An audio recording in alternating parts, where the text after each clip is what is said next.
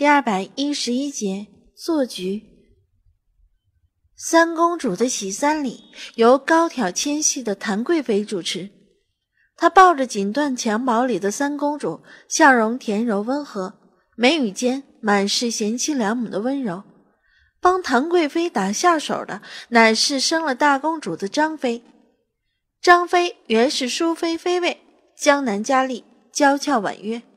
他看着三公主，眼睛柔的能滴出水来。看亲生女儿也不过如此了。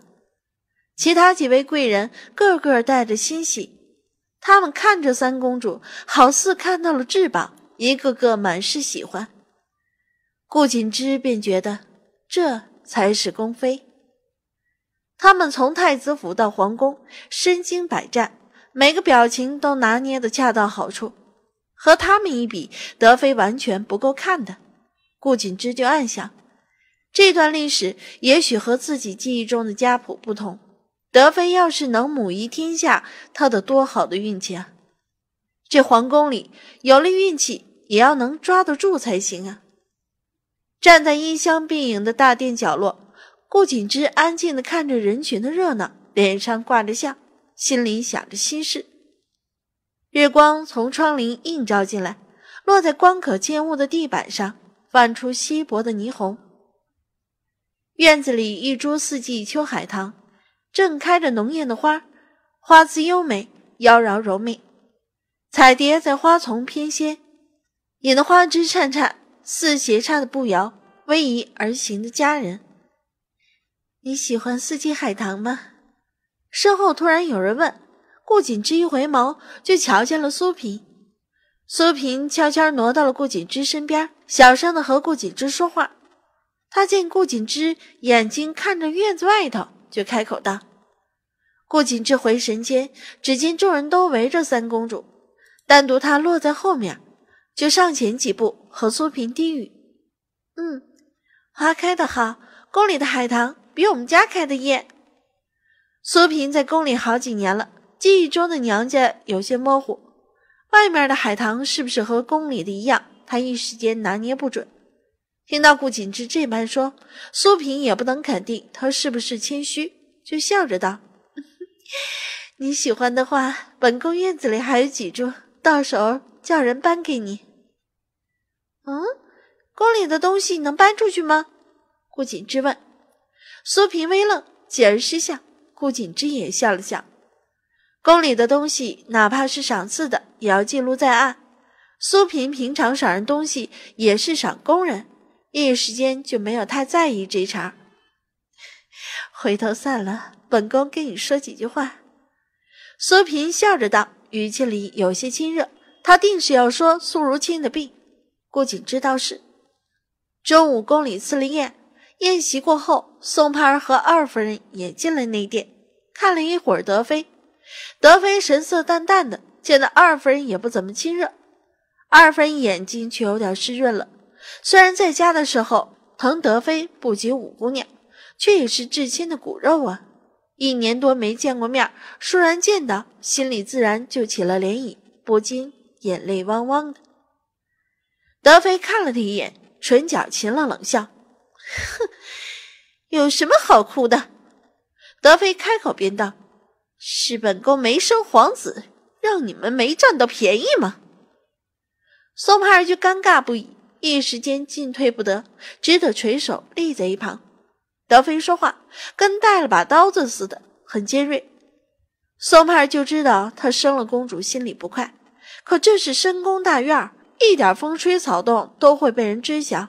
德妃居然跟在娘家一样，说话毫无分寸，不知隔墙有耳。宋帕儿心里就暗暗的替他捏了把汗呢。德妃进宫就是二品妃位，只在谭贵妃一人之下，皇帝对她也算不错。而后没过多久，就压了众妃子一头，怀了身孕。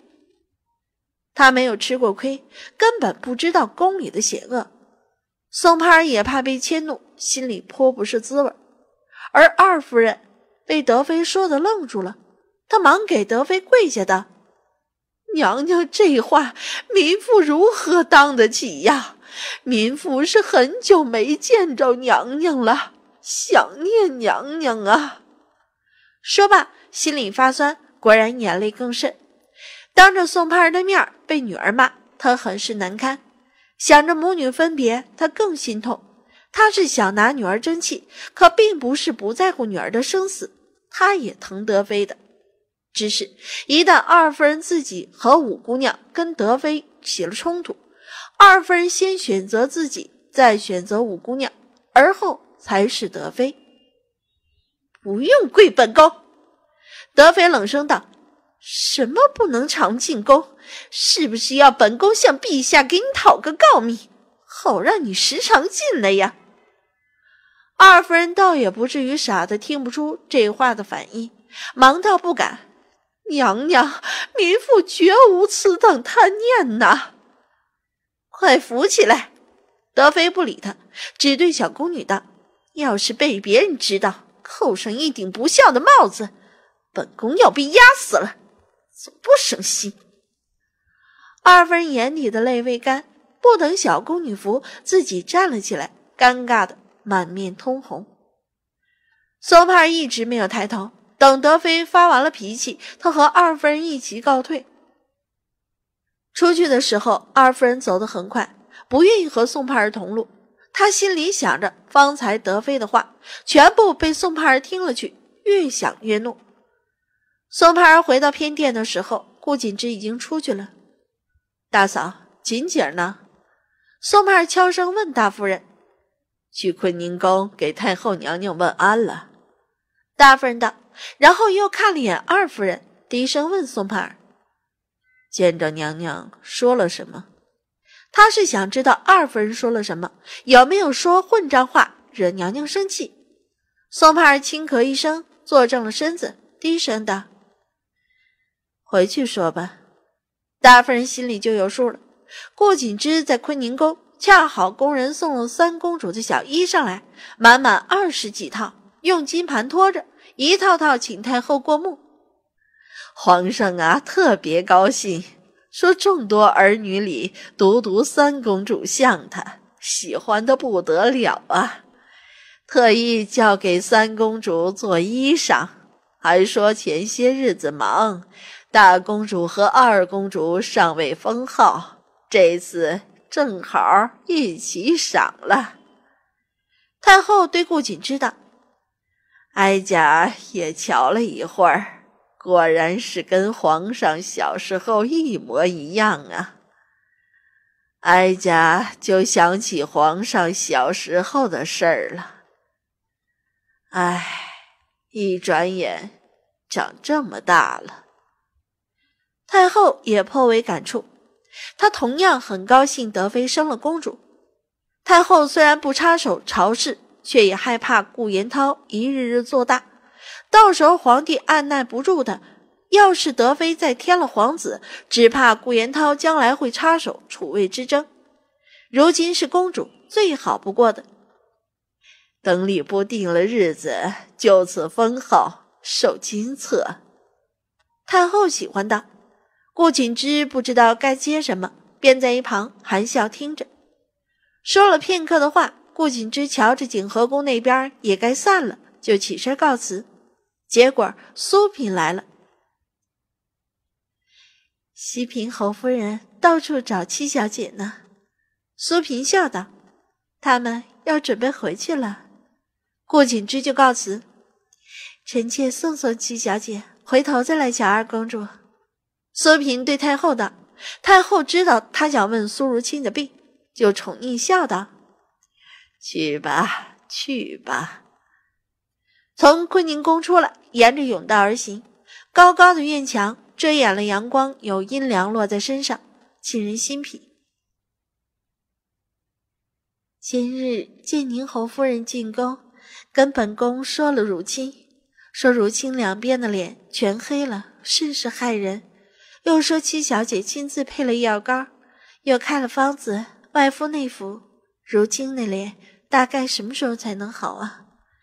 本宫问了建宁侯夫人，她也说不清楚，只说再过几个月。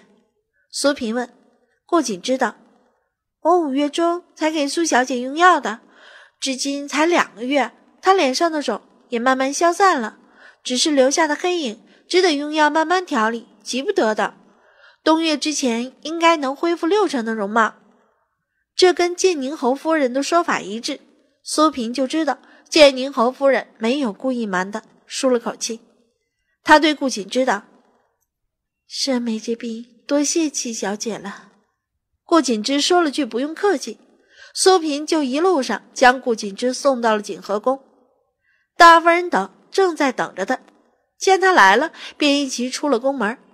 大夫人吩咐马车送二夫人先回去，对他道：“我去趟西大街的药铺瞧瞧陈哥，弟妹先回吧。”二夫人则想，是不是背着他说他的坏话呀？她心里很不快，却也不好多说什么。转身走了，大夫人上了宋盼儿和顾锦之的马车，他自己的马车随后跟着。娘娘说了什么？大夫人问宋盼儿，宋盼儿便把德妃的话复述了一遍。大夫人听了，半晌无语，最终只能默默叹口气。要不是大老爷一意孤行，大夫人连德妃也不愿意送进宫的。德妃实在是没有在宫里生活的天赋。可如今除了叹气，什么也做不了。马车从宫里出来，到了岔路口，大夫人和顾锦之去了药铺，宋盼儿回了家。路上，顾锦之问大夫人：“大伯母是不是去找祖父说梁家的事？”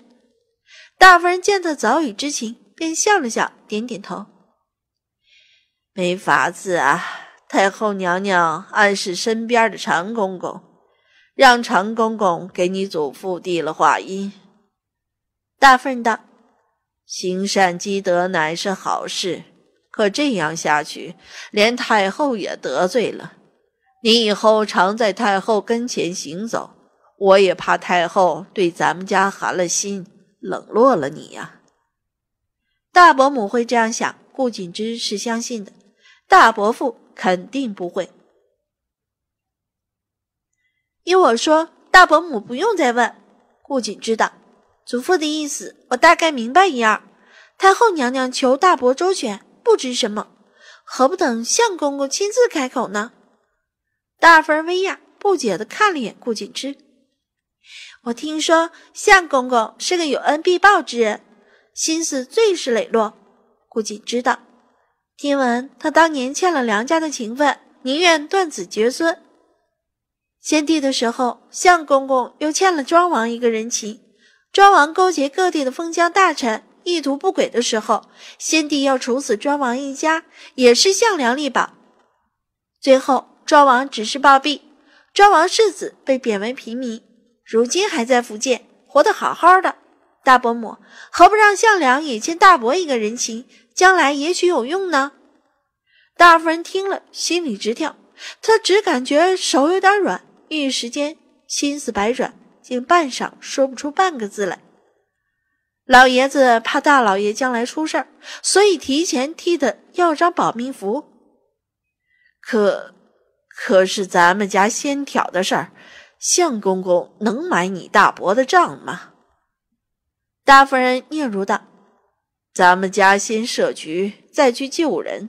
相公公是个聪明人，何不等一等呢？”顾瑾知道，等相公公需要买账的时候，大夫人倏然抬眸去看他。顾瑾之笑了笑道：“ 咱们开药铺，太后娘娘是高兴的，百姓也是喜欢的。虽然粮食倒了霉，咱们家却占了理。相公公若是这一点也不明白，哪怕真的欠他一个人情，将来他也不会还。祖父肯替大伯做这个局，就是看透了相公公此人，他老人家有把握的。”梁瑞只怕等不及，要闹点小事。等梁瑞闹了事，咱们再收手，相公公就不得不欠大伯一个人情了。大夫人久久沉默，她想起大老爷背后说老爷子的那些话，又见老爷子如此，大夫人的心倏然被什么揪起，疼得紧，眼底有了泪光。